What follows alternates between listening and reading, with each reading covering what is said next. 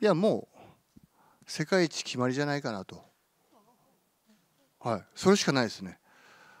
あの8対7で日本が勝ってくれたらアメリカにね一番面白い試合になるんじゃないかなと。やっぱ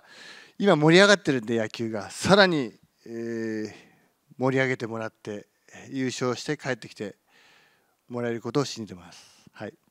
あのとりあえず行く前にファーボールは出すなと。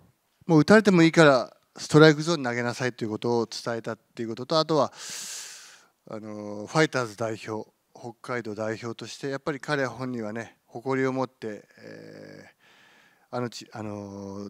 侍の方に入ってるんで、まあ、彼が一番ねそういうところはあの強い気持ちを持った選手だし